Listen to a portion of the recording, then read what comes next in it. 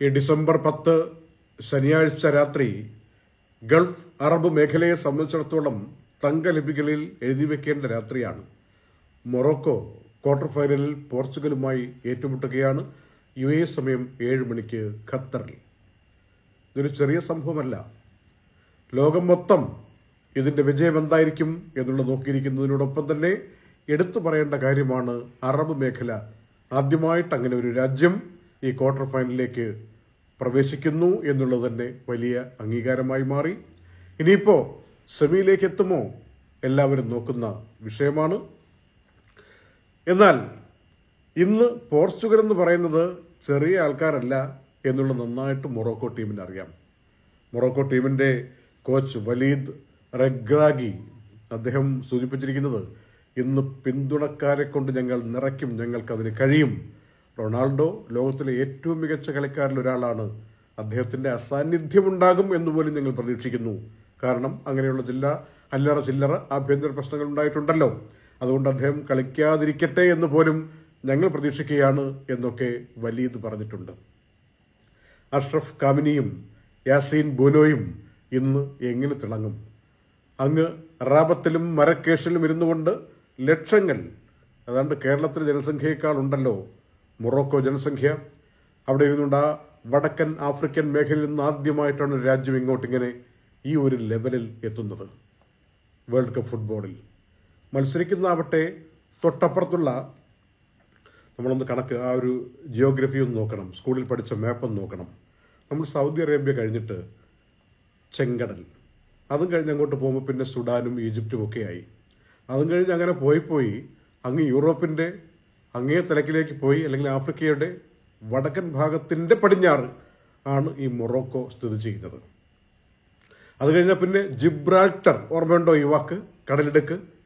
അതും കഴിഞ്ഞ് അങ്ങോട്ട് പിന്നെ നമ്മൾ മെഡിറ്ററേനിയൻ കടലിന്റെ ഭാഗത്തേക്ക് പോകുമ്പോൾ പിന്നെ അങ്ങോട്ട് സ്പെയിനായി പോർച്ചുഗലായി. അപ്പോൾ ഇന്ന് മത്സരിക്കുന്ന പോർച്ചുഗൽ ഒരർത്ഥത്തിൽ അയൽക്കാരാണെന്നൊക്കെ വേണമെങ്കിൽ പറയാം യൂറോപ്പിലാണെങ്കിലും. ഭൂമിശാസ്ത്രപരമായിട്ട് അങ്ങനെ ചേർന്ന് കിടക്കുന്നവരാണ്. തീ പാറുന്ന പോരാട്ടമായിരിക്കും. തെരുവുകളിൽ അദൃശ്യമാണ്. ഇപ്പോൾ തന്നെ ഒന്ന് നോക്കൂ പുറത്തുനിന്ന് നോക്കൂ. ട്രാഫിക് ഇല്ല. അത്രയ്ക്ക് എല്ലാവരും ഓരോ സ്ഥലങ്ങളിൽ സ്ഥാനം പിടിച്ചു കഴിഞ്ഞിരിക്കുന്നു കളി കാണാൻ വേണ്ടി. ഒരു ഫൈനലിനും നാളിതുവരെ ഇല്ലാത്ത വിധമുള്ള ഒരു പ്രതികരണമാണ് അറബ് മേഖല ഇന്നത്തെ ഈ കളിക്ക് നൽകുന്നത് എന്ന കാര്യം പറയാതെ വയ്യ. ഇനി വളരെ ശ്രദ്ധിക്കേണ്ട ഒരു വിഷയം. ഈ ഒരുപാട് ആളുകൾ മലയാളികളും പരസ്യം കൊടുക്കുന്നുണ്ട്. ഞങ്ങൾക്ക് ജീവനക്കാരെ വേണം. പരസ്യം കൊടുക്കുമ്പോൾ ചില കാര്യങ്ങൾ ശ്രദ്ധിച്ചില്ലെങ്കിൽ കുടുങ്ങും എന്നതിന്റെ ഉദാഹരണം കഴിഞ്ഞ ദിവസം ഒരു വലിയ കമ്പനി സ്വദേശികളെ വേണമെന്നും പറഞ്ഞുകൊണ്ടൊക്കെ ഈ സോഷ്യൽ മീഡിയയിൽ കൂടെ അപേക്ഷ ക്ഷണിച്ചത് അവിദഗ്ധ തൊഴിലാളികളെ വേണം സ്വദേശികളിൽ നിന്ന് എന്നൊക്കെ പറഞ്ഞിട്ടാണ്.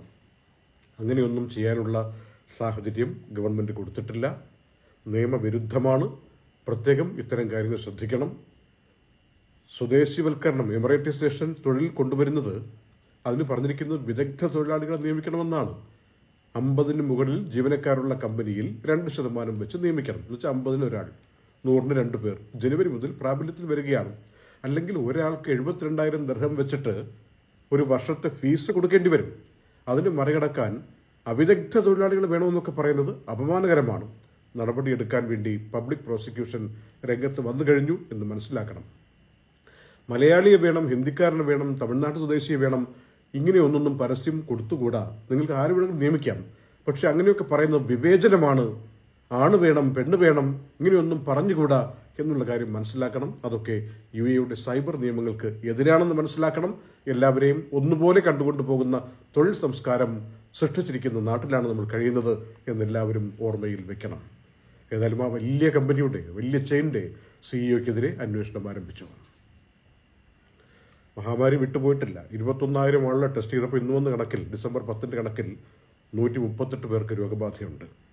എല്ലാവർക്കും പനിയും ജലദോഷവും ചുമയൊക്കെ വളരെ കൂടുതലായിട്ട് മുന്നോട്ട് പോവുകയാണ്. അപ്പോൾ പ്രത്യേകം ശ്രദ്ധിക്കണം. പതിനേഴായിരത്തിൽ പരം ആളുകൾ ഇപ്പോഴും ആക്റ്റീവായി U എയിലുണ്ട്. Indian consul general his excellency Amanpuri അദ്ദേഹം ഇന്ന് ഗൾഫ് ന്യൂസിന്റെ ഇന്ത്യ പ്രോപ്പർട്ടി ഷോ വേദിയിൽ വേൾഡ് ട്രേഡ് സെന്ററിൽ സബീൽ ഹോൾ ടൂയിൽ സൂചിപ്പിച്ചത് ഇന്ത്യ റിയൽ എസ്റ്റേറ്റ് മേഖലയിൽ പുരോഗതിയിൽ നിന്ന് പുരോഗതിയിലേക്ക് പോയിക്കൊണ്ടിരിക്കുകയാണ് എന്നാണ്.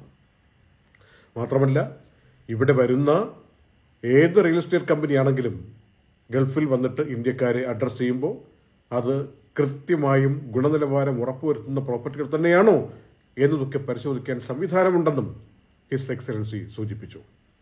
നാളെയും സബീൽ ഹോൾ രണ്ടിൽ ഈ ഒരു എക്സിബിഷൻ ഉണ്ടാകും. ഇന്ത്യയിൽ നിന്ന് എഴുപതിലധികം വൻകിട ബിൽഡേഴ്സ് പങ്കെടുക്കുന്ന പരിപാടിയാണ്. നമ്മൾക്കും പങ്കുചേരാം. നാളെ രാത്രി വരെ സബീൽ ഹോൾ ടൂവിലാണ് ട്രേഡ് സെന്ററിൽ ഇന്ത്യ പ്രോപ്പർട്ടി ഷോ നടക്കുക. ഉദ്ഘാടന വേദിയിൽ മാക്സ്പോ ഇവൻസിന്റെ ചെയർമാനായ എം ഐ സേട്ട് അടക്കമുള്ള പ്രമുഖർ പങ്കെടുത്തിരുന്നു. ദുബായ് വാർത്തയുടെ ഡിസംബർ പത്തിന്റെ നൈറ്റ് അപ്ഡേറ്റ് സമാപിക്കുന്നു. നന്ദി.